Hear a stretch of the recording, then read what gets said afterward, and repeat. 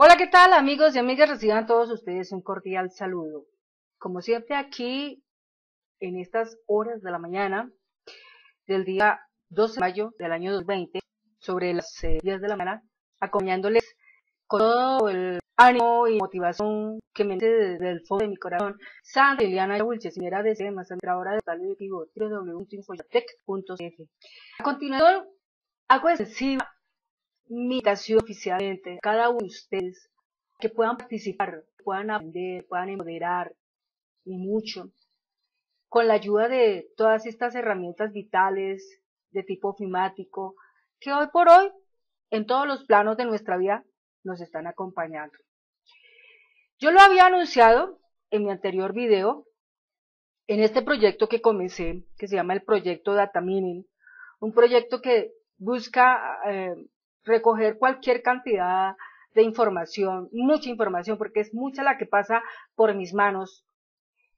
A diario puedo estar visitando aproximadamente más de mil sitios en la Internet, en donde de todo se registra, de todo hay, desde las noticias más tremendas, eh, de todos los campos que tratan de nuestra vida, desde las matemáticas, desde las ciencias, desde la geografía, desde la historia, desde las ciencias políticas, desde el ámbito de las ciencias tecnológicas, todo en este espacio con este data mining, que es una minería de datos, cuenta. Porque al final cuenta todo es muy importante. Cuento en el momento con una bitácora que llevo trabajándola prácticamente ya 10 años. Yo la comencé eh, en el año 2007, la comencé. Y para esa fecha pues no pensaba que esto crecería tanto al punto de hoy tener una bitácora que fácilmente al imprimirla considero más o menos llega casi a las más de 700 páginas donde cualquier cantidad de sitios web están registrados en esa bitácora, que para mí representan un alto valor, es como mi activo principal, es un patrimonio, aparte de mis videos que he subido al canal de YouTube, más todos los videos que todavía tengo en mi poder, producto de todas las asesorías y de las diferentes eh, orientaciones que he facilitado a muchos de mis clientes que hoy me buscan en la internet porque pues vivo de eso prácticamente. Todos los días mi trabajo está reflejado en un teletrabajo, donde prácticamente yo poco salgo a la luz, o sea, poco salgo al parque, digamos, a, ejercitarme, a hacer mis ejercicios, etcétera. Casi siempre llevo una vida muy sedentaria, porque estoy prácticamente todo el tiempo sentada, escudriñando, investigando, mirando, leyendo, buscando, conociendo, enterándome, empapándome, estudiando, bueno, cualquier cantidad de información que sale a la luz. El Facebook que yo tengo, bien, entonces les contaba, en mi Facebook generalmente eh, yo estoy contando en este momento con un acompañamiento de más de 1.400 amigos, eh, amigos que han llegado ahí producto de lo mismo que yo hago. Muchos de todos esos amigos que yo tengo ahí son estudiantes que he atendido. Muchos de esos estudiantes que yo he atendido tienen incluidos sus amigos también ahí. No tengo dentro de mi Facebook mi familia. ¿Por qué? Porque simplemente mi Facebook es un, es un sitio muy extremadamente público donde no vale la pena tener la familia.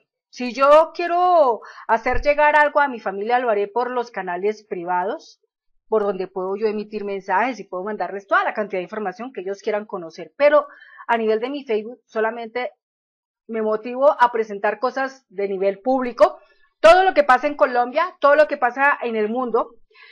Entonces yo miraba detenidamente eh, mi Facebook y me, me, ponía a observar, yo de aquí hay una cantidad de material, de todo llega, porque estoy incluida en cualquier cantidad de grupos, grupos de todas las áreas económicas, porque pues con el ejercicio que yo desarrollo a nivel de Access, pues eh, me, entro en muchos temas. Entonces me entré en el tema de la veterinaria, me entré en el tema de la agricultura, me metí en el tema de los impuestos, me metí en el tema de los bancos, en el tema de la salud, me entré en el tema de la industria, en el tema de la logística, en el tema educativo, en el tema de las inmobiliarias, en el tema de, de, mm, de otros aspectos como la, como la parte jurídica, que es algo que también yo muevo mucho a través de eso, inclusive tengo un canal en YouTube que se llama Jurídica Sandra Yaya, donde pues allá plasmo, en cuanto a mi conocimiento, una explicación muy rápida de lo que es la Constitución Nacional Política 1991 de, la, de, Colombia, y a través de ella pues extiendo mis conocimientos que eh, poco a poco en una y otra cosa voy adquiriendo. Bueno, les decía a ustedes que eh, a nivel de, de Access nos, nos centraremos mucho en la parte que se es construir una base de datos donde vamos a almacenar cualquier cantidad de información que a futuro, según mi convicción y mi visión, como también introducía mi misión, es que le sirva a usted para que con esa base de datos usted pueda hacer dinero. Se preguntará usted, bueno, ¿de qué manera mm, podría yo hacer dinero con esa base de datos? Mire, hay muchas personas que en este momento, por los motivos de la pandemia, verdadera o falsa, como estén las cosas, se presentan muchas cosas en donde el colombiano, llamándolo a su idiosincrasia, el colombiano tiene una facultad enorme y es crear ideas, e, es muy, es muy activo en esa parte, el colombiano es extremadamente creativo. Creo que cualquier cantidad de personas que se encuentran ligadas en mi red social de Facebook, que vienen de otros países, de Suecia, de Rusia, de Eslovenia, de Escandinavia, de Holanda, de Honduras, de Guatemala, de México, de Estados Unidos, de parte de, Europa, en fin, de cualquier lugar se dan cuenta que el colombiano se la inventa tenazmente. Entonces esta base de datos le va a servir mucho al colombiano, pero también le va a servir mucho al mexicano, pero también le va a servir mucho al venezolano, al hondureño, al guatemalteco, le va a a, le va a servir al puertorriqueño, al costarricense, al nicaragüense, etcétera, etcétera. Entonces, mirando todo esto, uno se da cuenta que Em, en este punto, nosotros podemos sacarle mucha ventaja a esa base de datos. Bueno, entonces, en este tema me voy a concentrar básicamente en enseñarles a ustedes, bueno, primeramente cómo montamos esa base de datos que tenemos que poner al pelo para todo lo que queremos incluir como minería de datos en esa base de datos. ¿Listo? Entonces, para eso, obviamente, yo voy a tomar eh, también otras posibilidades de mm, acercarme mucho a llegar a muchas personas que en este momento de conocimientos en Access no tienen absolutamente nada allí en su mente. Que hay muchas personas que de eso muy poco saben. El hecho es que muchas personas que poco saben de eso, pues no se atreven a tocar mis videos porque ya son de un nivel muy avanzado y los únicos que llegan a esos videos pues son las personas que ya cuentan con bastante conocimiento a nivel de Access como a nivel de Excel. Pero las personas que hasta ahora están empezando con este cuento, por allá algunas han topado videos de hace siete años cuando yo empecé con un proyecto que se llamaba Empresa XXX. Entonces esas personas que han llegado a esos lugares pues dicen, bueno, aquí yo puedo comenzar a aprender algo sobre lo que es la parte de Access, pero si ya empiezan a coger más información, eh, como lo de la parte hospitalaria, como de la parte jurídica, como de la parte de las empresas, como lo de la parte mm, eh, inmobiliaria, la industria, eh, mm, la parte que tiene que ver con veterinarias, que son las cosas como tal vez más avanzadas que yo tengo, pues unos cuantos llegan a ese tema, a ese material. Y por sus pocos conocimientos, pues alcanzan a empoderar un tanto más. Pero las personas que críticamente ¿no? Y así sencillo, mm, en cero, no, no saben absolutamente nada. Completamente neófitos, pues no van a poder mirar ese material porque no van a entender qué es lo que está pasando allí. Y esto, eh, en este punto, con este, con este proyecto Data Mining se busca es acercarnos a esas personas, a ese grupo de personas que no conocen mucho del Access y que a través de este Data Mining, de este proyecto puedan aprender bastante. Entonces, eso es lo que queremos tratar de entregarle a ustedes como audiencia, es lo que queremos entregarle a ustedes como parte de nuestro trabajo, que puedan ustedes alcanzar la mayor cantidad de logros con este material que se puedan empoderar, que puedan fácilmente ustedes construir su propia base de datos a su propio criterio, ¿no es cierto? Y a su propio punto de vista. ¿Listo? Entonces vamos a empezar. Bueno, lo primero, nosotros para construir una base de datos, pues tenemos que partir de conocer una aplicación ofimática como en este caso es el Access, ¿sí? Entonces, el Access, aquí nosotros vamos a encontrarlo directamente eh, en nuestra barra de tareas, puede estar acompañado a través del metro. En el metro muchas veces puede estar eh, eh, ubicado en, en, algún pequeño grupo. En ese grupo va a estar siempre indicado con una iconografía, como es, por ejemplo, el rollito de unos discos con la letra A. Entonces, ese icono es el de Access. Y a través de ese icono de Access, entonces que nosotros activamos, o bien sea en el metro de Windows, 8.1, 10 o las siguientes versiones que hayan. Y a, partir de ahí vamos a ingresar. ¿Listo? A partir de ahí vamos a ingresar. Bueno, entonces eh, recordemos en este momento que este video que estamos haciendo acá, que estamos conduciendo, que le estamos desarrollando, que lo estamos haciendo la locución, viene siendo el video número 003 de este proyecto Data Mini. ¿Listo? Va a ser un poquito extenso porque vamos a tratar de, enfocarnos y dar rápidamente unas bases básicas de lo que es esta aplicación ofimática tan interesante que abordan hoy por hoy muchas empresas. Bueno, listo. Entonces vamos a empezar. Eh, podemos hacerlo por acá, por el metro, entrando directamente a ese espacio de la ofimática como es el Access. Nosotros cuando manejamos Access, generalmente eh, vamos a estar vinculados con varias situaciones. Entre ellas es que el Access está estimulado en diferentes versiones. Yo he podido hablar a través de varios videos que yo llevo trazados y he hablado de versiones como la 2007, luego seguimos con la versión 2010, luego con la 2013 y las que siguieron en adelante, 2016, 2019. Bueno, lo otro es que eh, en el momento que nosotros trabajamos con Access, nosotros trabajamos con sistemas bits. Entonces, algunas computadoras están trabajando con sistemas de 64 bits y otras trabajan con sistemas de 32 bits. La cuestión está es en que eh, la situación de los bits resalta en que, ay, aquí espérate porque yo me entré acá a esta aplicación. Se entró aquí directamente porque ya asistía a una. Entonces voy a tratar de entrar por acá y voy a tratar de construir una nueva, una nueva base de datos. Entonces yo voy a empezar acá por una base de datos en blanco, ahí. Entonces, bien, entonces a partir de aquí me quedo un ratico para hablarles a ustedes. Entonces les decía, tenemos dos sistemas a nivel de Windows. Sistema 32 bits y sistema, 30, eh, sistema 64 bits.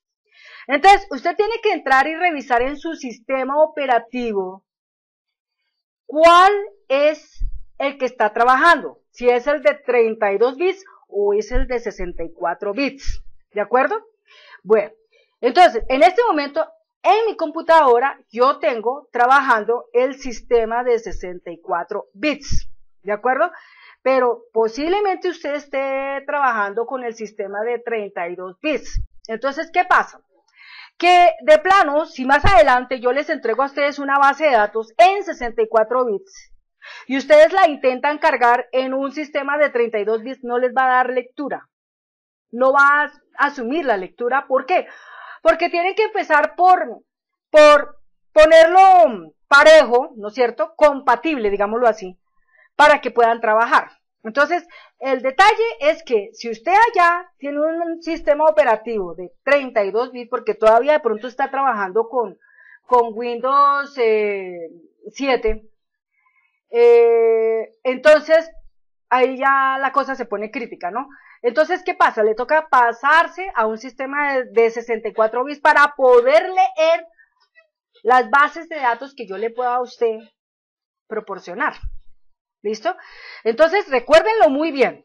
Lo que se está trabajando aquí, en este momento, en esta base de datos relacional, es el data mining en 64 Ya les voy a mostrar cómo es que uno detecta cuándo es 32 y cuándo es de 64 bits.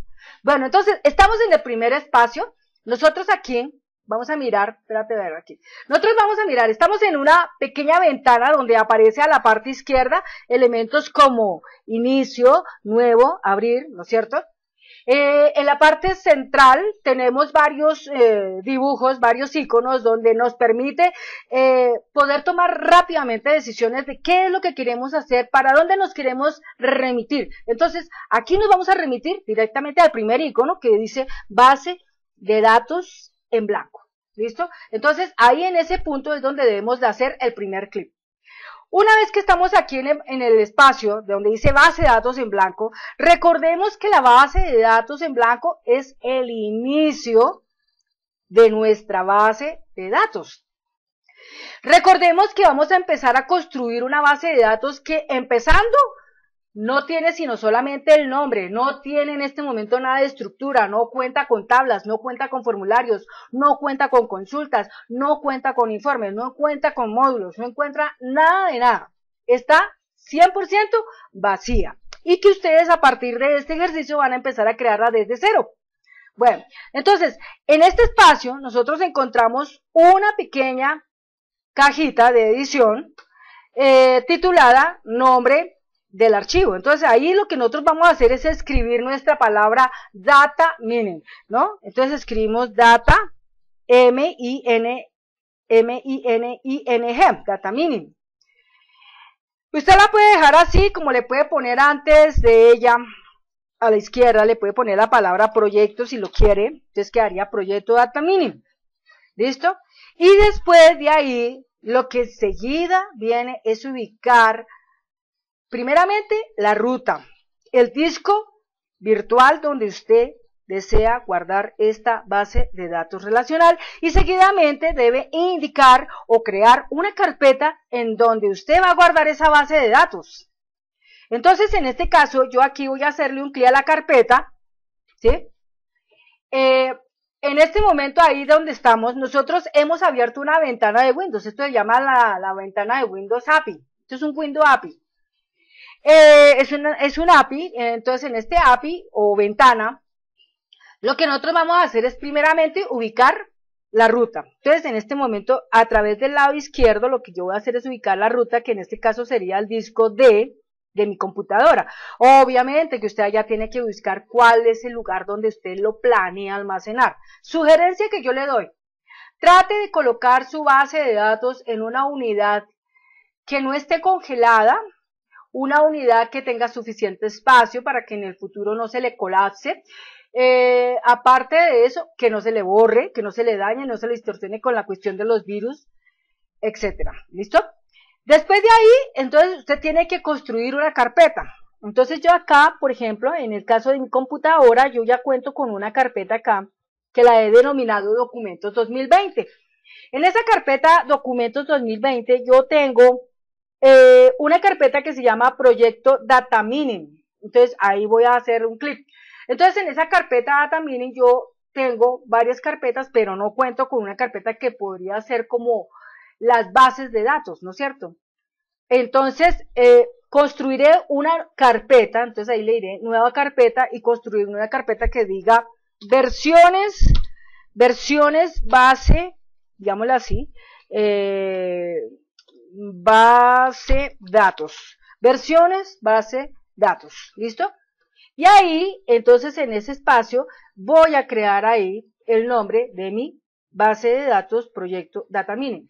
Quiero aclarar que esta base de datos que estoy en este momento empezando a, a, construir va a tener un tipo, esto es lo que nosotros denominamos una extensión, ¿sí? Entonces la extensión es un punto ACC eh, eh, eh, ¿sí? ACCDB.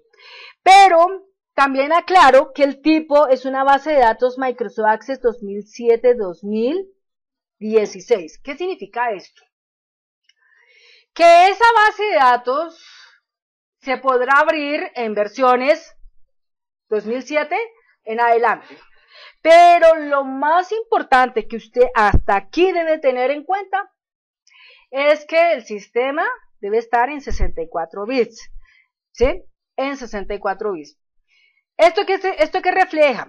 Si usted es una persona que en este momento está trabajando con una computadora que tiene el sistema operativo Windows 10, pero no es 64 bits, sino es 32 bits.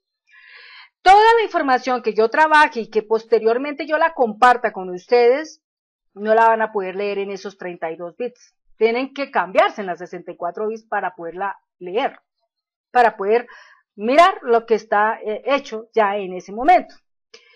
Algunas personas tal vez les ha pasado eso, que yo he elaborado bases de datos en 64 bits y lastimosamente estas personas lo han hecho en 32 bits. Entonces, cuando yo les proporciono alguna base de datos que para compartir, para que miren información de cómo lo hice, eh, miren los módulos, miren la programación en Visual Basic, no la van a poder ver. ¿Por qué? Porque simplemente no hay, no hay una compatibilidad entre el sistema operativo que usted maneja y el que yo estoy trabajando. Pueda que tengamos el mismo, ¿no es cierto? Pero en el sistema BITS, no. Entonces, a partir de aquí es donde lo más importante viene a suceder. Es que desde este momento, si usted está trabajando con 64 bits, magnífico porque todo lo que en el futuro yo le pueda a usted compartir lo podrá ver. Pero si usted en este instante construye en 32 bits, lo que yo le pueda compartir prácticamente sería perdido porque usted no lo podría ver. A no ser que usted tenga adicionalmente otra computadora en la cual usted sí tenga 64 bits. Su sistema es 64 bits. Ahí sí podrá usted verlo. ¿Listo? Bueno, eso es algo que quiero aclarar desde el momento en que estamos arrancando, porque después la gente dice, no, mira Sandra, yo lo intenté hacer, pero no lo pude abrir, pero no lo pude ver. En fin, eso podría suceder. Entonces, no quiero que pase eso, quiero que las cosas desde el primer momento en que estamos arrancando sean bastante claras. Bueno. Otro punto importante es que nuestra base de datos, aparte de que tiene un tipo, que dice base de datos Microsoft Access 2007-2016, tiene también un espacio donde habla de unas herramientas. Entonces, en estas herramientas se habla de conectarse a una unidad red. Cuando uno se refiere a conectarse a una unidad red, se refiere a ver en qué parte de la red usted puede almacenar esa información. Los computadores generalmente, cuando uno los activa en red, siempre se van a visualizar con los nombres de los equipos y generalmente la carpeta que puede estar habilitada para que usted en ella pueda almacenar es la de user y dentro de user acceso público y dentro de acceso público documentos públicos y ahí puede usted almacenar la información en esa máquina que lo permita porque está compartida su información hacia las otras computadoras. ¿De acuerdo? Bueno, em, hay, que, hay que poner otro punto también clave, ¿no? En cuanto a esto es que mm, nuestras bases de datos en este momento también pueden llegar a tener la operabilidad de que al ingresar podamos eh, distinguirnos con un ID y con una contraseña. Pero todo eso también se registra dentro de la base de datos, dentro de la base de datos, no como, no como lo que pasa con Word o con Excel, que desde directamente desde la ventanita se puede hacer eso. En Access no, porque en Access se da la posibilidad de que a través de programas se puedan hacer esas cosas. ¿De acuerdo? Entonces acá ya tenemos nuestro nombre, eh, proyecto Data Mining, ¿listo? Es una base de datos que se podrá leer desde el 2007, versiones 2007 hasta la 2016. Entonces le damos un aceptar. En el momento en que le damos un aceptar, ¿no? A esto, entonces nuestro nombre queda en este momento consignado en esa caja de edición que dice claramente proyecto data mining punto ACCDB. Recuerden que esa extensión ACCDB es la extensión que corresponde a esta versión. ¿De acuerdo? Entonces, a partir de ahí ya disponemos de un nombre para esta base de datos relacional y le damos a dar crear. En ese momento en que la base de datos se construye, como les dije en un principio, no existe absolutamente nada, no hay estructura aún, no hay tablas, no hay formularios, no hay reportes o informes, no hay consultas, de ninguna cosa hay. Esto significa que estamos en este momento prácticamente en cero, en cero. Entonces, cuando nosotros empezamos a trabajar acá, tenemos que empezar a regular un poco de cosas de tipo configurativo para que nuestra base de datos en el futuro no vaya a, generar problemas. Pero, obviamente que todo eso poco a poco se irá adaptando. Bueno, quiero también contarles a ustedes que esta base de datos relacional, algunos se preguntarán, bueno, ¿por qué le llaman a eso base de datos relacional? Porque la base de datos se relaciona íntimamente con muchas cosas. Una base de datos se relaciona tablas entre tablas, con formularios, se relaciona con los informes, se relaciona con las consultas, se relaciona con las macros, con los módulos.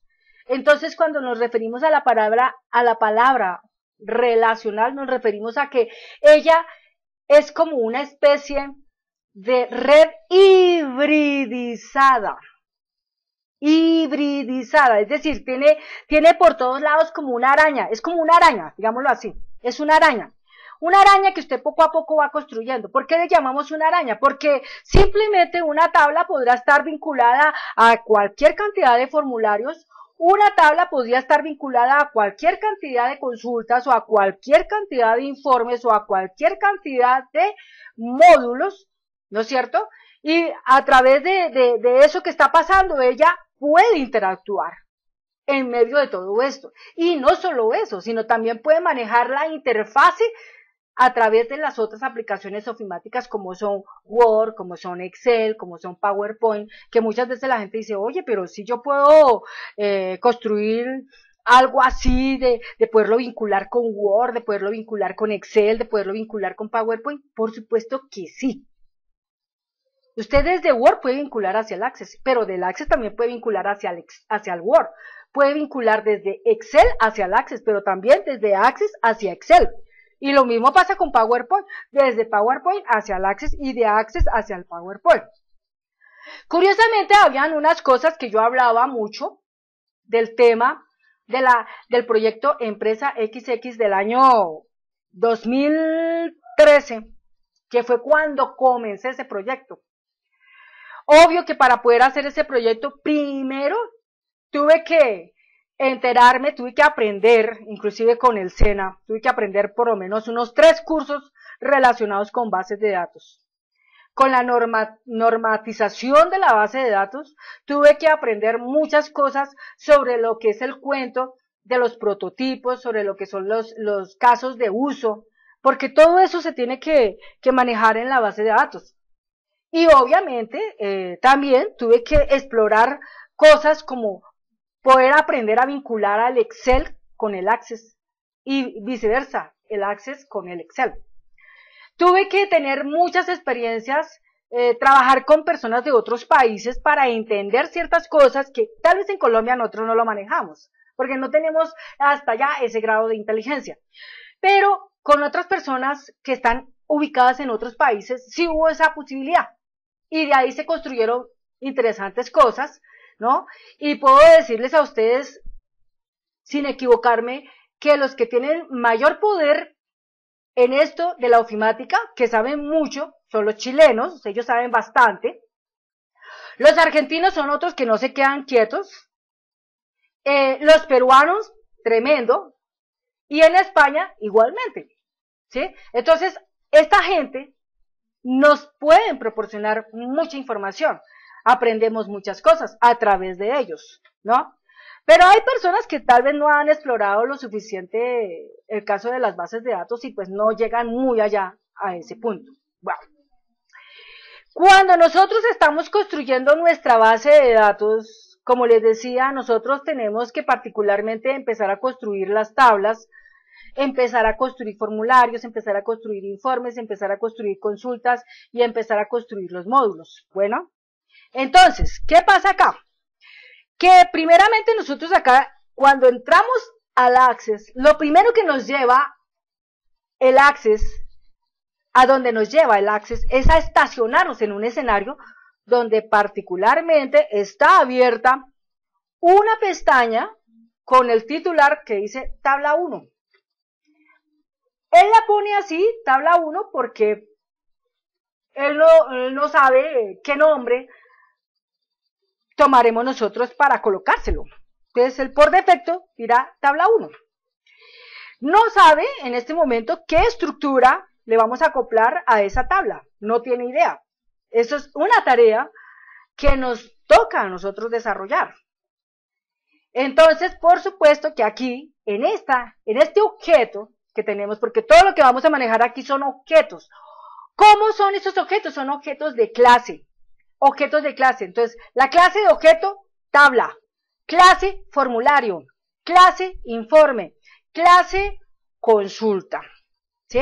Entonces, la tabla como tal siempre va a estar compuesta de dos cosas, que son los campos, los campos. Y aparte de los campos, que son como los lotes o contenedores donde la información se alberga, estarán los contenidos. ¿Que en este caso qué es el contenido? El registro. Un registro que pueden ser cuatro cosas, que pueden ser cuatro campos, puede ser dos campos, pueden ser diez campos, pueden ser veinte campos. Una cosa que yo he aprendido en las bases de datos relacionales es que las tablas no pueden ser tampoco tan grandes, porque entonces se vuelve inmanejable y además se crece mucho la base de datos. A mayor número de campos en una tabla, mayor va a ser el número de objetos en esa base de datos. ¿Eso qué quiere decir? Que si yo tengo 20 campos, registrados en una tabla, imagínense cuánta cantidad de formularios me van a poder salir de ahí. Cuánta cantidad de consultas de todo tipo, actualización, selección, anexo, eliminación o las nuevas tablas que se crean de ahí. Van a salir muchas. Y además de eso, la cantidad de informes. Entonces, por el número de campos en una tabla es que muchas veces se mide la base de datos. Así que cuando usted está pensando en una base de datos, es más factible que digamos mejor, tenemos varias tablas y no una sola tabla. Es mejor decir, tenemos varias tablas en donde guardamos varias cosas y no decir, tenemos una tabla donde guardamos tantos campos, porque lo que pasa es que uno a veces dice, no, yo unifico todas mis cosas en una sola tabla. Pero error, porque no puedo todo manejarlo en una sola tabla. Ese es mi primer error que a veces, muchas veces, la gente que no está instruida puede cometer. Muchas veces la gente puede hacer proyectos muy interesantes, pero, por Dios, solo manejando una sola tabla, no. esto esto se, se, sale, se sale de sus manos, empezando, porque no la puede después controlar. ¿Por qué? Porque tiene tantos, tantos campos que después difícilmente, difícilmente usted va a poder destruir. O sea, nosotros en la tabla sabemos que hay tantas cosas que necesitamos, pero yo sé que varias tablas adicionales o alternativas nos pueden ayudar a mejorar un poco más el manejo de la información que estemos por empezar a trabajar. Eso es lo más importante. ¿De acuerdo? Entonces aquí nuestra tabla, como les decía, no tengo en este momento nada acá. Entonces si yo en este momento yo digo aquí cerrar, usted podrá darse cuenta que en la parte izquierda, donde está la palabra referente que dice todos los objetos, que inclusive aquí cojo y, lo, eh, me paro con el puntero en esa rayita, vemos que el puntero está en este momento convertido en una flecha con doble dirección izquierda-derecha, que al soltarlo inmediatamente usted lo que va a poder hacer es apreciar un titular que dice todos los objetos de Access. Entonces en este momento todos los objetos de Access que es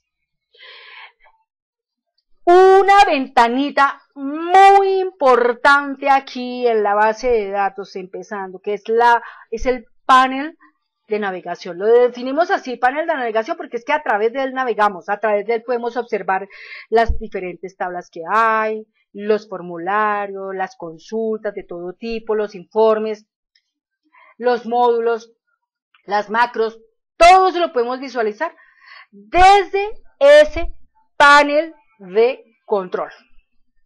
¿Listo?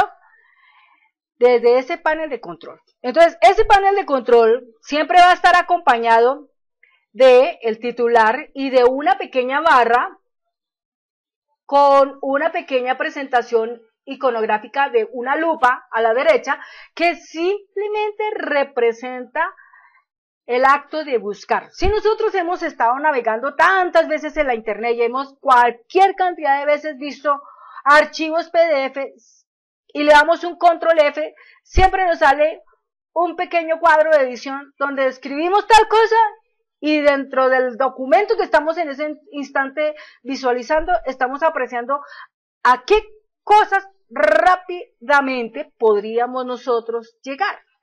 En esta forma, cuando uno construye una base de datos relacional y empiezas a construir tablas y formularios y consultas de todo tipo y los informes y los módulos, a través de esa barrita, de esta barra, puedes buscar esa información en una manera más rápida. Solamente tipeando lo que quieres visualizar. Solamente tipeando lo que quieres visualizar. Otro factor muy importante cuando estamos empezando a construir nuestra tabla es en definir la situación estructural de los prefijos o los sufijos. La gente muchas veces cuando empieza a construir las, las bases de datos mm, se va a unos, a unos nombres que no son tan mnemotécnicos. De pronto escribe nombres muy largos que no nos van a servir mucho, ni siquiera para programar. Nos vamos a exponer a situaciones en donde por el simple hecho como estamos escribiendo nuestra tabla o el nombre de nuestro formulario o el nombre de nuestra consulta o el nombre de un informe, ya por ese lado vamos a tener muchos problemas. ¿Por qué? Porque muchas veces cuando nosotros cogemos y establecemos el nombre de una tabla y le ponemos dos palabras, pero las dos palabras están separadas por un espacio, ya tenemos ahí problemas. Y grandes. Entonces, esto implica que nos vayamos poco a poco acomodando a que los nombres de nuestras tablas no sean de esa manera, sino todos sean regulados con la unión de una, de un comodín o de un signo que se llama raya al piso. Raya al piso. Entonces, si tú le vas a poner la palabra tabla, entonces póngale tabla, raya al piso y el nombre que tú quieras. ¿Listo? Y el nombre que tú quieras. Otro punto, si nosotros en un tiempo determinado en nuestra base de datos planeamos formular los módulos, ¿no es cierto? Eh, vamos a poner un ejemplo. Eh, en este data mini nosotros vamos a tener módulos donde de pronto vamos a hablar del concepto de la medicina, del concepto de la educación, del concepto de la seguridad, de la bioseguridad, por ejemplo, del concepto de, de, de la parte gubernamental, del concepto de la tecnología, cosas de ese tipo, por ejemplo. Entonces, nuestras tablas deberán tener como ese nombre especial. Es decir, todo lo que tenga que ver con ese nombre. Si estamos hablando de bioseguridad, ponemos BioS, por ejemplo. Entonces tendríamos una tabla que diría BioS o un formulario que diría tal cosa, ese, o un informe que diría tal cosa, ese, o una consulta que dijera algo relacionado con eso, ese. Es decir, ¿por qué lo hacemos de esa manera? Para poderlos ubicar más rápidamente cuando estamos con ellos trabajando. Y saber también exactamente cuántos objetos de clase hemos registrado en el momento en que se crea ese conjunto en esa base de datos para llegar a ellos más rápido. Imagínese usted en el futuro contar con una base de datos que tiene, ¿qué te digo yo? Eh, 100 objetos, 200 objetos, 300 objetos, 400 objetos, y no fuéramos tan altamente ordenados en esa parte, nos vamos a demorar mucho más para buscarlos. Y si le pusiéramos esta tarea a personas a nivel de teletrabajo, que hicieran tales cosas, se van a perder. Con una gran facilidad se van a perder. De nosotros depende mucho cómo estemos organizando esa base de datos para que en el futuro sea pues obvio, sea mejor y la gente no se pierda en ello. ¿De acuerdo? No se pierda en esa parte. Entonces aquí viene un punto importante. Yo aquí voy a registrar dentro de mi tabla, voy a registrar muchas cosas, muchas cosas eh, en, esta, en este data mini. Entonces, por lo general, yo le diría una tabla general eh, que guarde todos estos conceptos, pero adicionalmente armaría como pequeñas tablitas que estuvieran enfocadas netamente a ciertas áreas. ¿Sí? Entonces, las tablas, ¿cómo estaríamos construyendo la tabla? Entonces, venimos ahora a otro punto. Si nosotros estamos aquí en Access, vamos a encontrar primeramente que nuestra base de datos eh, tiene en este momento un nombre extremadamente largo, muy largo. porque es tan largo ese nombre ahí en la barra del título? Porque está reuniendo todo el enlace del sitio donde finalmente está guardado. Entonces, si por ejemplo yo me metí en el disco de, luego me metí en una carpeta que se llama Documentos 2020, luego me metí en una carpeta que se llama Proyecto Data Mini, luego me metí en una carpeta que se llama Versiones Bases de Datos. Entonces, imagínense, pues todo ese larguerío ubicado en mi barra de título me deja, me, me, me, me deja perdida, ¿sí? O, o lo deja usted perdido. Entonces, existe una manera de poder disminuir todo ese nombre tan largo a una mínima expresión. Una mínima expresión. Entonces, esa mínima expresión netamente es a través de archivo y a través de sus opciones, en especial de la base de datos en general. Es la primera parte que hacemos nosotros. Entonces acá nosotros tenemos un elemento grande que se encuentra aquí resaltado, ahí lo estoy resaltando, este documento, este, este, este objeto grande que estoy resaltando aquí, que dice archivo, inicio, crear, datos externos, herramientas, bases de datos, ayuda y qué deseas hacer, ¿no? Eso todo junto con los elementos incorporados dentro de cada paquete, lo llamamos nosotros la cinta, oígalo bien, la cinta ribón, la cinta ribón, R-I-B-B-O-N, ribón. Entonces, esa cinta ribón es un objeto más que en el futuro se puede programar para poderla visualizar o no visualizar. Se llama el toolbar, ¿sí? Entonces, este es un toolbar, toolbar viene de la palabra eh, barra herramientas, barra herramientas. Entonces, ¿cómo llama esta barra herramientas? Barra herramientas ribón. ¿Listo? Barra herramientas ribón. Entonces aquí, en el archivo, nosotros eh, lo primero que hacemos es activar ahí un clic. Y en la parte izquierda vamos a encontrar elementos iniciales que tiene acá nuestro espacio de archivo, como son el de inicio, nuevo, abrir. Dentro de abrir encontraremos información, guardar, guardar como, imprimir, cerrar, pero adicionalmente tendremos aspectos de la cuenta, comentarios y opciones. Entonces, si le decimos inicio, pues él nos vuelve otra vez al inicio. ¿En dónde? Nos va a parar. Pues para crear otra base de datos o para irnos a alguna de las que ya están postuladas como bases de datos que sirven para gestionar cosas de manera más rápida. O nos lleva a una nueva, ¿sí? O simplemente nos permite abrir una que ya existe. Entonces, si hay que entrar a una que ya existe, pues obviamente qué información, o si vamos simplemente a guardar, o vamos a guardar cómo, o sea, dándole un nuevo nombre a esa base de datos, o vamos a imprimirla, o vamos a cerrar. Pero también cuando entramos a, a la cuenta es para revisar cómo se encuentra nuestra aplicación frente al sistema operativo en donde está operando. Entonces, ahí también es algo muy importante que usted tiene que tener presente.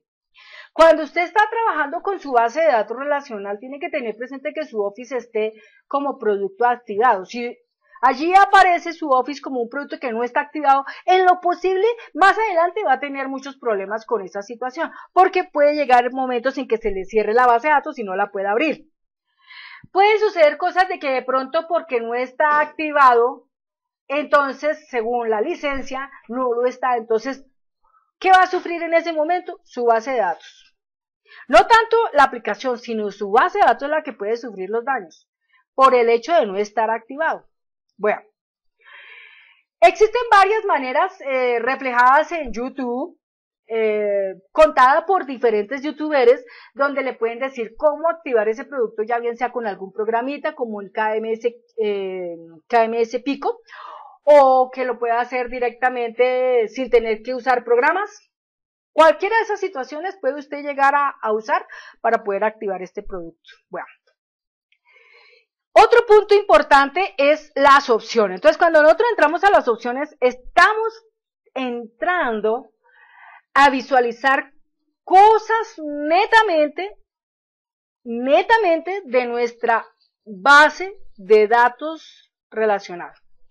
En la parte de la izquierda, nosotros contamos con varias utilidades, varias herramientas. Entre ellas encontramos general, eh, base de datos actual, hoja de datos, em, diseñadores de objetos, revisión, idioma, configuración del cliente, eh, personalizar una cinta de opciones, barra de herramientas de acceso rápido, complementos y el centro de confianza. ¿Qué usa habitualmente Sandra? Mucho acá. Yo acostumbro a utilizar mucho la base de datos actual, y uso el centro de confianza. Esas dos cosas son las que yo más uso acá. Entonces, en la base eh, en la base de datos actual, lo que netamente acostumbro a usar mucho acá está definido en la primera parte que dice opciones de la aplicación. Desde donde dice el título de la aplicación, ahí esa primera cajita de edición es la que uno utiliza para anotar el nombre de nuestra aplicación simplificando enormemente la visualización de ese texto tan largo que se encuentra presente en la barra del título. Entonces, en la barra del título hay algo muy grande que se simplifica a algo más mínimo, como es un simple nombre. En este caso, como el que yo voy a ponerle acá. Entonces, le voy a poner acá proyecto, proyecto data minim, no más. Y donde dice icono de aplicación si en el evento elaborado una imagen significativa para mi proyecto y la convertí en un archivo con la extensión .ico y lo tengo ese archivo guardado en algún lugar de mi disco duro, por medio de este botón de comando lo llamaría y lo ubicaría y lo dejaría visible para que en el futuro mis formularios, mis informes puedan estar visualizando ese icono, porque para eso es para lo único que sirve. Para visualizar ese icono en las pestañas de los formularios o en, las pestañas de los informes. ¿De acuerdo? Nada más para esas dos cosas. Entonces, ahí, de esa manera, pues queda esa, esa parte presente. Otro punto importante es cuando hablamos de mostrar el formulario. Si yo digo mostrar un formulario, obviamente que pues acá cuando yo abra el cuadro combinado no se visualiza absolutamente ningún formulario porque en este momento no tengo ningún objeto definido como formulario para esta base de datos. Por consiguiente, no estoy en este momento visualizando. No hay nada más ahí. ¿De acuerdo? No hay nada más ahí. En el futuro, cuando exista un formulario, pues ahí se visualizará y ese será el que voy a amarrar. ¿Lo amarro para qué? Para que cuando yo cargue mi base de datos, él tome lectura o se enrute hacia ese objeto clase llamado formulario XX y lo capta y lo abre. Y así de esta manera pues se visualiza inmediatamente eh, en un en un perfil un poco más significativo mi base de datos.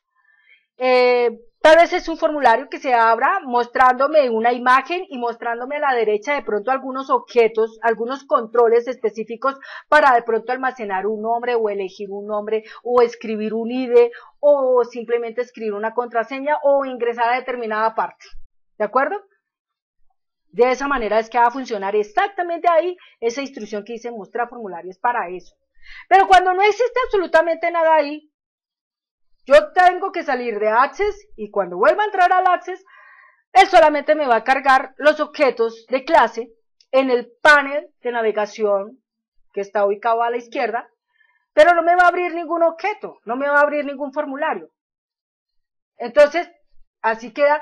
Cuando queda así es porque hasta ahora lo estamos construyendo, es porque hasta ahora no tenemos absolutamente ninguna tarea registrada allí específica que nos diga, ay, va a abrir tal formulario y vamos a mirar esto y vamos a mirar aquello.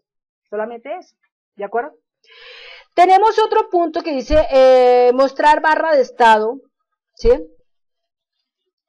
Que generalmente la parte inferior está marcada Opciones de la ventana de documentos, dice ventanas superpuestas, documentos con pestaña, mostrar fichas de documentos. Hay personas que acostumbran, acostumbran a simplemente retirar este término que dice documentos con pestañas y ponerlo con ventanas superpuestas. Cuando se ponen ventanas superpuestas, nunca se ven reflejadas separaditas, ¿no es cierto? Las pestañas, sino una está encima de otra. Algo muy parecido como al emergente. Pero mm, para la cuestión de un aprendiz, una persona que hasta ahora está aprendiendo, mi sugerencia es que por ahora maneje el documento con pestañas para que no se complique tanto la vida. Y en el futuro, cuando ya mucho sepa y no quiera que nadie le mire tantas cosas, entonces coloca las ventanas superpuestas. ¿De acuerdo? Bueno. Vamos bajando, vamos bajando, vamos bajando y encontramos aquí en la navegación otro punto. Dice navegación, dice mostrar panel de navegación. Cuando las personas tienen ya muchos conocimientos, se acostumbran a desmarcar esa casilla. Entonces, esto representa que cuando usted entre al Access y a visualizar su base de datos, no estará a la, a la izquierda cargado el panel de navegación. ¿Por qué? Porque simplemente aquí, en este espacio, que es la base de datos actual, esa casilla de selección está desmarcada. Y eso provoca que en la parte izquierda de su ventana no se visualice ese panel de navegación, ¿de acuerdo? Entonces, yo lo dejo en este momento marcado porque me interesa que el panel de navegación esté visible, con el propósito que cuando los objetos de clase se estén construyendo, usted los pueda visualizar, los pueda ver, pueda palpar qué es lo que tiene en ese momento como contenido en su base de datos relacionados. ¿De acuerdo? Bueno, eso por ahí. Bueno, otro punto que yo marcaría aquí Vamos bajando aquí un poquito. Eh, bueno, vamos a mirar aquí la parte centros de confianza. Ah, la parte general, miremos la parte general. Bueno, la parte general aquí pues está detectando que eh, la base de datos en este momento toma lectura directamente hacia el C, user, Sandra, Liliana, documentos. Bueno, pero esto tiene que cambiar porque si usted en este momento no está trabajando su base de datos en C, sino de pronto usted la va a guardar en el disco D. Lo más probable es que en el futuro siempre le va a estar saliendo un mensaje que dice habilitar contenido y eso representa que su centro de confianza en ese momento no está definido. Entonces, desde ya, sin haber empezado todavía nada, defínalo. ¿Cómo lo definimos? Simplemente vamos para el centro de confianza. Entonces, en el centro de confianza nos introducimos en donde dice configuración del centro de confianza. En ese momento a la izquierda nos vamos a dirigir donde dice ubicaciones de confianza. En ese momento donde estamos vamos a revisar que eh, la ubicación del usuario en ese momento esté reportando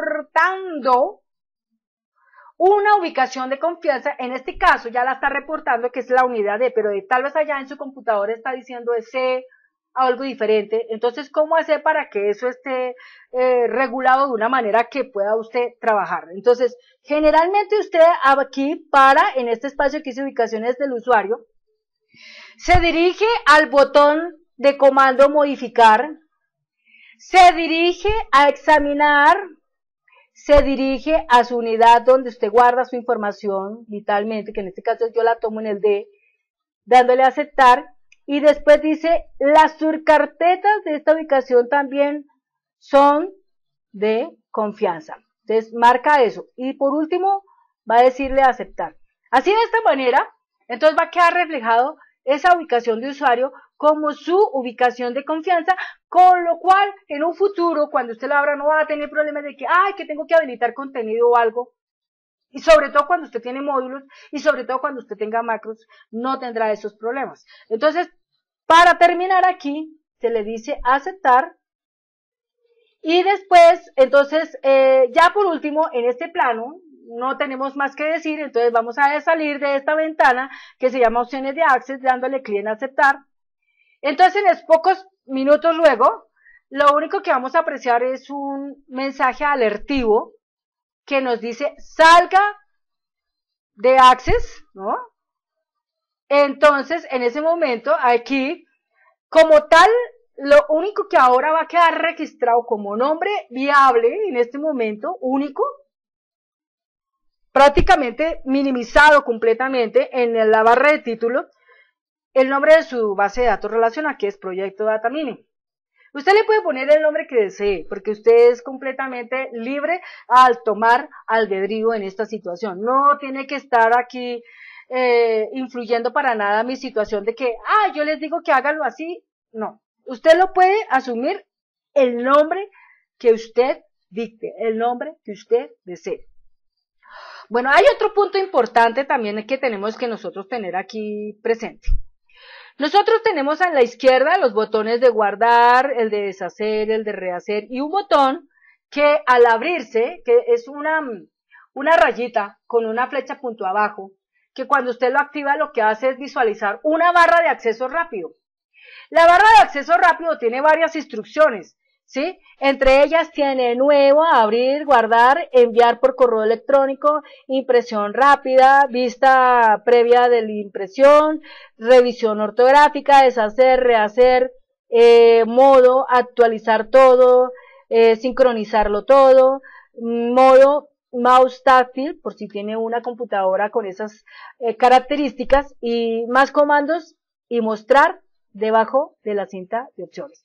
Entonces, Aquí, pues si usted quiere configurar o personalizar esa barra de acceso rápido, que es esta, entonces usted le pone lo que quiere, ¿no? Entonces si usted dice, bueno, le va a poner el de abrir, ¿no es cierto? Entonces ahí ya quedó. ¿Esto qué significa? Que se agrega un nuevo objeto a esa barra de acceso rápido. Es decir, esto que usted tiene aquí atrás pertenece a los elementos de una barra de acceso rápido. Entonces, esa barra de acceso rápido usted poco a poco la irá mejorando, la irá personalizando con lo que usted convenientemente crea que debe tener ahí. ¿Listo? Entonces, si usted quiere tener, por ejemplo, un elemento que dice, enviar a correo electrónico, listo, póngale allá para correo electrónico. De hecho, se entiende que este sistema trabaja con el Outlook Express, ¿de acuerdo? Bueno, y así por el estilo usted le irá enredando más cositas a esa barra de acceso rápido. Ahora, punto ahí.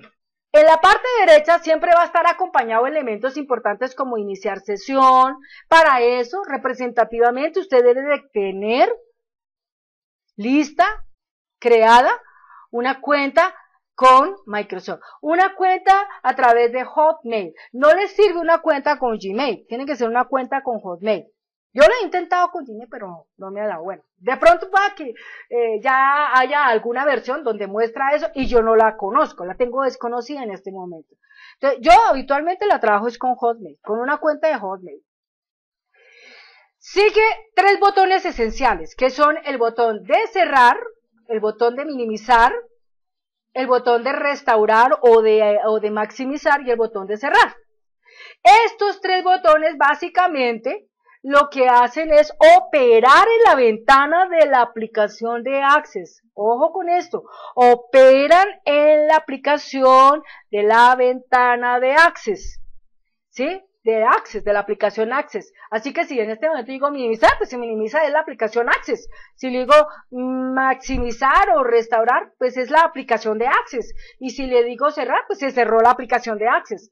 Pero cuando uno ve Debajo de esos tres botoncitos, otros botoncitos pertenecen a una ventana superpuesta que solamente estaría visible cuando usted en archivo, en opciones, base de datos actual, le ha puesto esa significancia.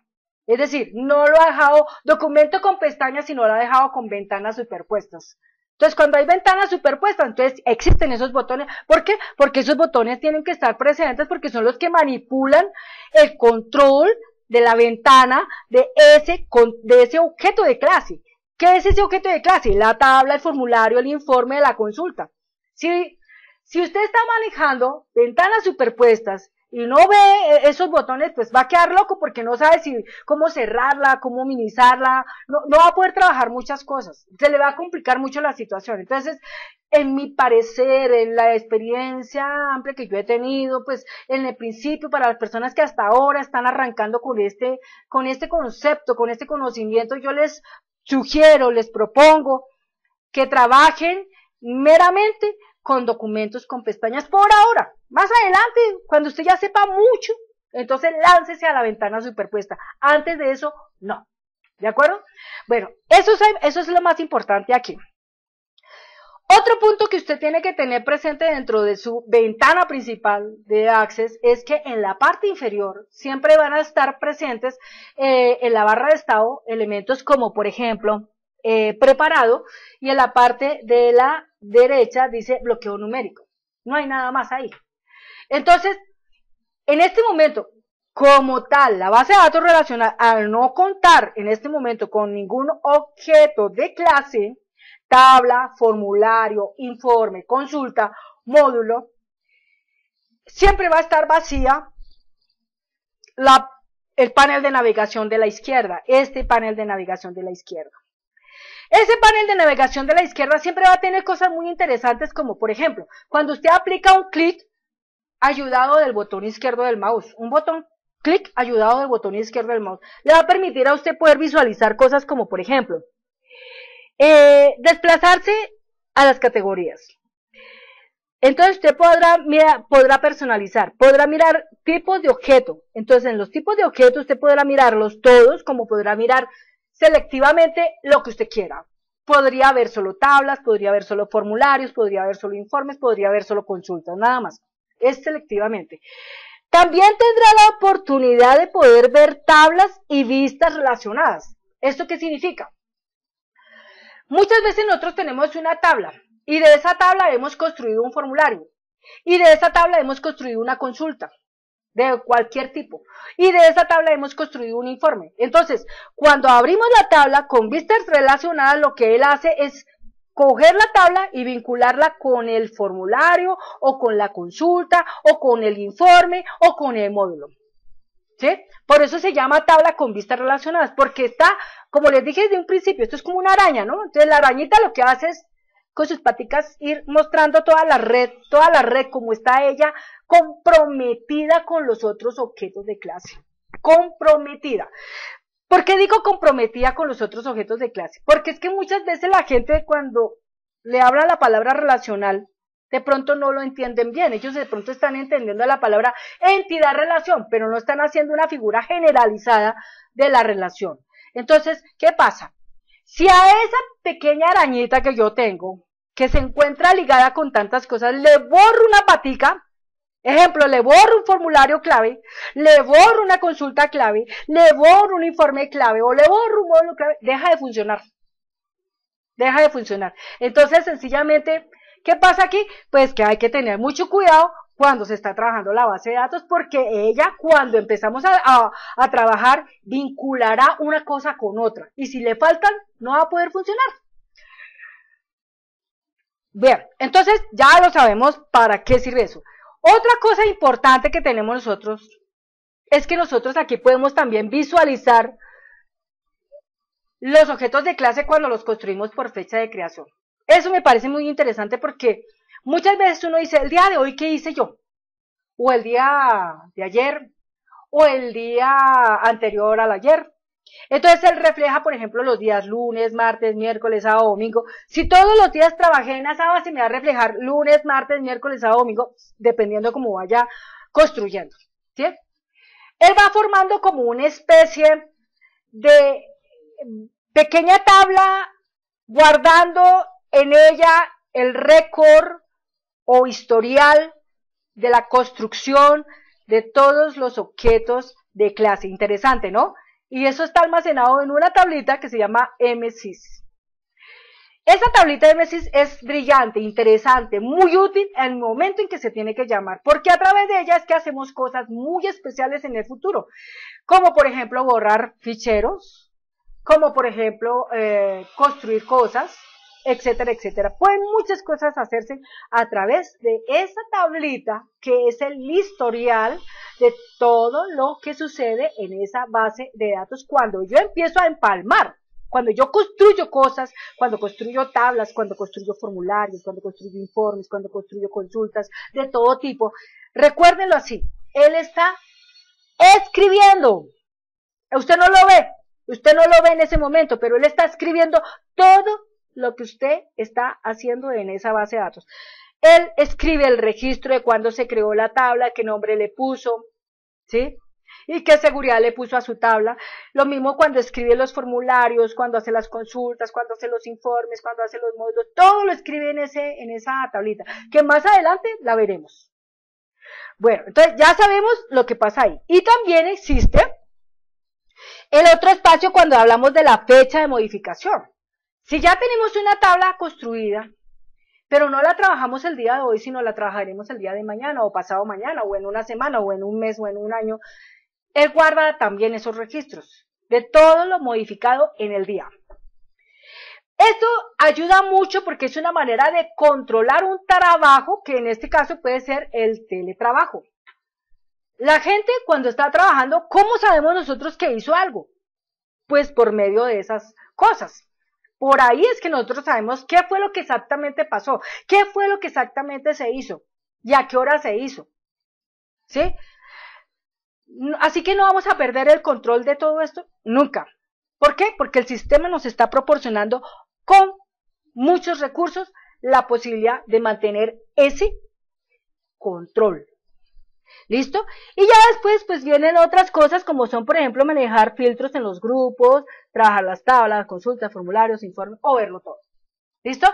Eso es básicamente cuando hacemos un llamado en un clic al botón izquierdo del mouse para visualizar todo ese contenido en esa lista contextual. Si nosotros le hiciéramos clic derecho, entonces ya nos aparece una lista contextual completamente diferente, porque ya nos habla de categorías y están definidas en un grupo, ¿no? O cuando hablamos de ordenar y están definidas en un grupo, o cuando hablamos de vista por y están definidas en un grupo, o las opciones de navegación o la barra de búsqueda. ¿Listo? Si en algún momento nuestra barra de búsqueda por alguna razón se perdió, digámoslo así, vamos a poner acá, mi barra de herramientas para buscar los objetos de clase se perdió.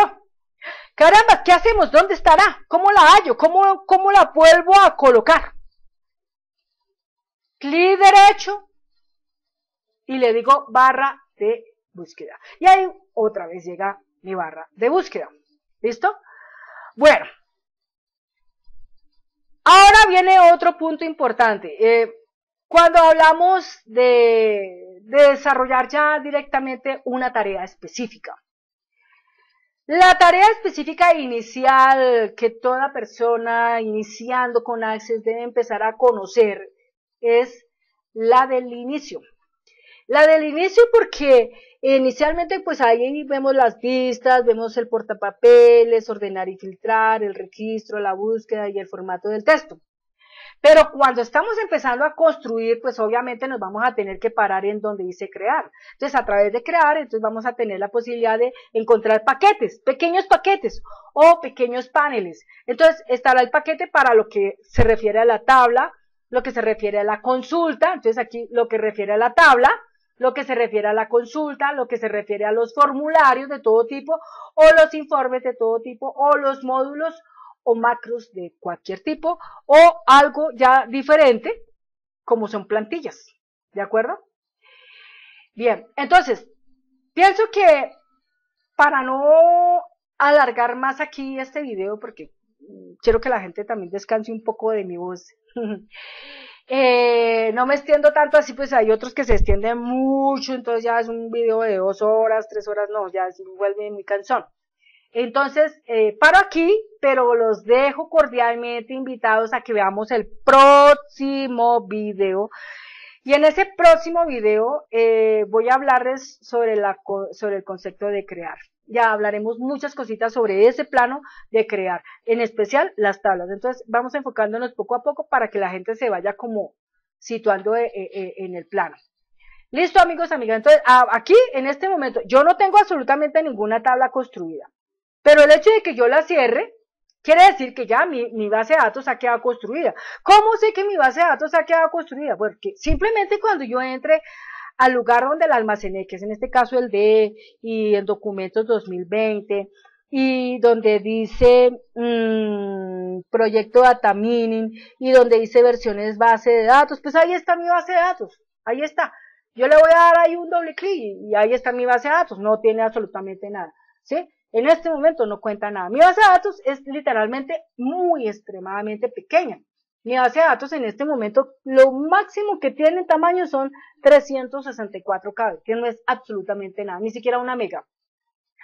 Pero poco a poco ustedes se van a ir dando cuenta cómo una base de datos va creciendo. Una base de datos puede ir creciendo con respecto a su contenido. Entonces, tantas tablas, tantos formularios, tantas consultas, tantos informes, y más cosas que se agreguen allá, pues eso es lo que van dándole volumen a nuestra base de datos. Si nuestra base de datos en un futuro va a tener videos, va a tener imágenes, un poco de cosas, pues eso obviamente va a ayudar a sumar enormemente el tamaño de esa base de datos. Por eso de aquí tan importante, en la medida en que vamos avanzando, cómo vamos a ayudar para que la información que nosotros almacenemos allá, en especial imágenes, no se engruese esto de una manera que se vuelva inmanejable, sino buscar alternativas de cómo manejar esas imágenes para que en el futuro esas imágenes no estén guardadas en la base de datos, sino estén alojadas en una carpeta y estén conectadas por medio de una razón, por medio de una programación que le permita a través de la base de datos relacionar visualizar la información. ¿De acuerdo? Bien, entonces mi presente invitación a cualquiera de ustedes, porque me gusta que estén llamados y motivados y animados a seguirme, es que estén pendientes del próximo video donde vamos a hablar de ese tema. ¿De acuerdo? No voy a decir que va a ser largo el tiempo de espera, porque estos días que han pasado entre el segundo y este video, sí, han pasado casi dos semanas, pero es que estas dos semanas han sido de trabajo en donde he, tenido que recopilar cualquier cantidad de información de lo que voy registrando en mi red social y de lo que voy captando en mi, red social para ir así, eh, de esta manera, cuadrando las cosas de una manera que para usted pues sea interesante lo que va a ver acá, porque no me, no me interesa que se siente detrás de esa pantalla perder el tiempo a ver una cosa que tal vez no le va a servir para nada.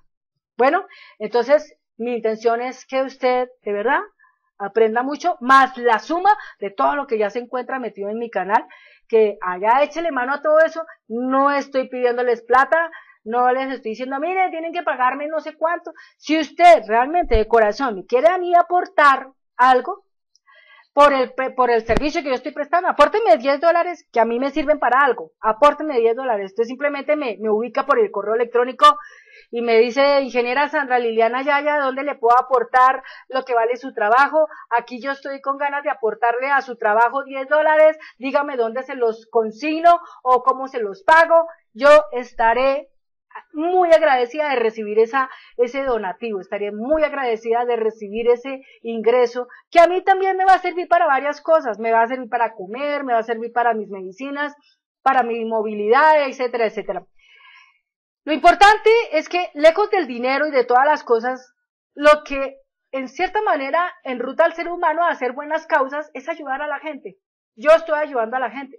Obvio, me estoy ayudando también a mí misma pero estoy ayudando a la gente y pues mi vitalidad y mi función y mi ánimo y mi motivación están centradas en eso nomás. Muchas gracias por todo el momento que usted estuvo ahí sentado conmigo escuchándome un buen rato. Tal vez hay cosas que usted conocía, como tal vez cosas que usted ignoraba que no sabía. Ah, la última cosa que de pronto yo quería mostrarle a usted. Bueno, a través de mi computadora, voy aquí a plasmar en eh, la parte que dice este equipo, y me voy a meter aquí donde dice equipo y me voy a meter aquí donde dice eh, propiedades del sistema. Y quiero simplemente decirles que lo que usted tiene que ponerle ojo es a esta frase que dice acá. Tipo de sistema, sistema operativo de 64 bits, procesador x64. No importa la versión que usted tenga, pero tiene que siempre mirar eso porque eso fue una de las cosas que al principio de este video se habló. ¿De acuerdo? Entonces, si usted trabaja con 64 bits, chévere, porque todo lo que yo en el futuro pueda suministrarle a usted por medio de la opción compartir, lo podrá obtener y lo podrá visualizar. Pero si usted está trabajando con un sistema de 32 bits, bueno, tiene que pensar, pues, en estas circunstancias, si vale la pena que se quede en 32 bits o pase a la gama de los 64 bits. Muchas gracias y bueno, creo que ya con esto terminamos este video y con la cordial invitación que les estoy haciendo en este momento de estar ahí pendientes, alerta del próximo video que entre, eh, que en este caso será el siguiente, que es el número 004 del proceso Data donde voy a estar hablando un tanto de la parte de tabla. Ya vamos a hablar de muchas cosas relacionadas con las tablas, de muchas cosas vamos a hablar. ¿Listo? Entonces, Dios los bendiga y les agradezco sus comentarios y suscripciones y pues el que tenga algo que a poderme aportar económicamente, bienvenido y bendecido ese ingreso. Y pues espero que pues cualquiera de ustedes me invite a que le proporcione mi correo electrónico y los detalles para el pago, si ustedes lo quieren aportar y si vale la pena lo que ustedes quieran aportar a mi trabajo. Me ayudan mucho en todos los, en todos los planos. Muchas gracias y nos vemos en un próximo video. Hasta pronto. ¡Hola,